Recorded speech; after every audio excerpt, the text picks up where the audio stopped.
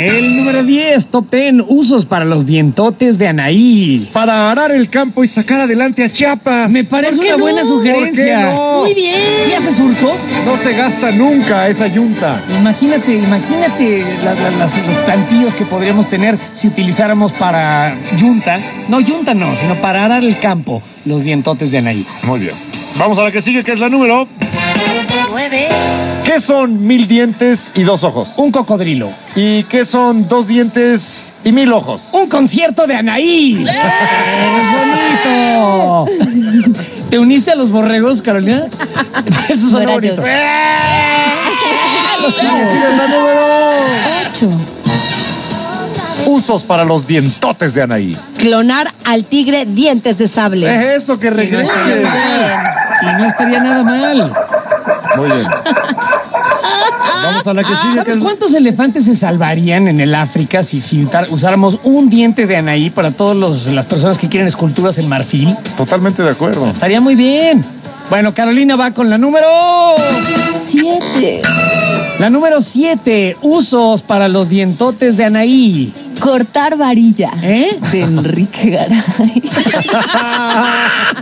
Eso Qué bonito. Ay. Oye, dicen que, Es una varilla. dicen que Anaí nació en México, pero que sus dientes son de fuera. Ay, es qué bonito. loco, sí. Es bonito. El que sigue es el número. 6. Usos alternos para los dientotes de Anaí. Como muro fronterizo. Sí, o, o como muro de contención en un rompeolas de tsunamis. Y no pasa nada. Nada. Todo el mundo a salvo. Absolutamente nada. Vamos al que sigue, que es el número. 5.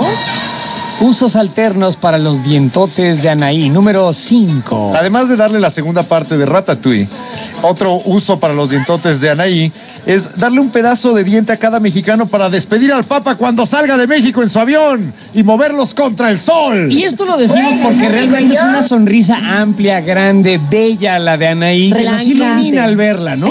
Yo no sé de qué te ríes tú, Caro, pero bueno.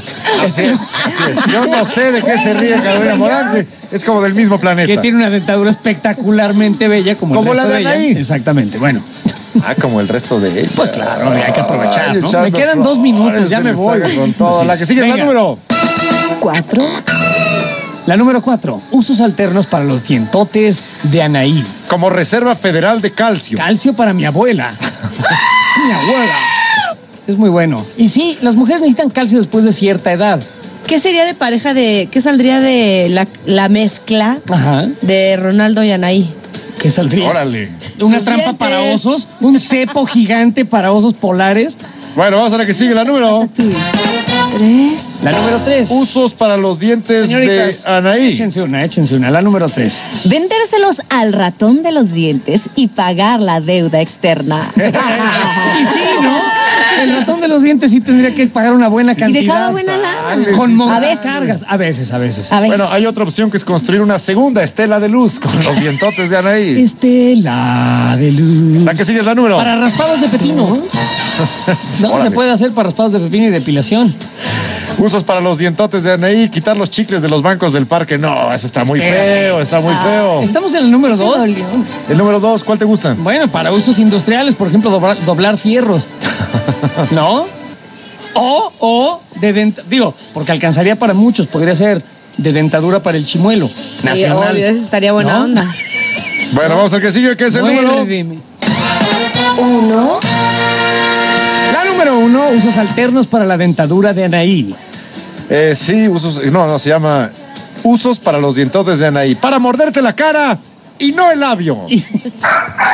Bueno, y le mandamos un saludo a Anaí. Eh, Esto es un homenaje. Un homenaje a sus enormes dientotes. Así es. Una mujer muy guapa. Una mujer muy, muy, talentosa. exitosa además, pero Yo- con unos dientotes. Yo no la conozco. ¿Ustedes grandes. conocen a Anaí? Sí, está guapísima. ¿Y qué tal, Anaí? Guapísima, ¿no? Sí, muy. Y exitosa y... ¿Sí te la y damos? bien. ¡Ay, ya! ¿Ves? Bueno. Ah, o sea que Perdón, sí, bueno. soy un enfermo. Bueno, Discúlpame. Bueno. No, no era hola. No, no era hola. Hola, bueno. ¿Ahora qué hace? Hola, ¿Dándose ¿qué a sus hace? amigas o qué hace? ¿Qué hace? ¿Soñando A qué ver, ¿qué hace? dice? A ver, otra vez, Anaí, entonces, Anaí, ¿qué? ¿tú sí te dabas aquí a Carolina? Ah, caray. Ahí está. Bueno, teníamos de todo aquí para subastarlos en Costa de Marfil y darle de comer a todos los niños pobres de allá. Eh, de En un tratamiento de ortodoncia para equinos. Está bonito, de cascanueces. Ay, de sacagrapas. de sacagrapas. Está bien, no se acabaría nunca. Yo tenía un amigo al que le decían el sacagrapas, pero era Sí, era por totalmente otra otro cosa. gas. Bueno, Eh, y ¿qué hay de nuevo, está- viejo? Ese es el uso favorito.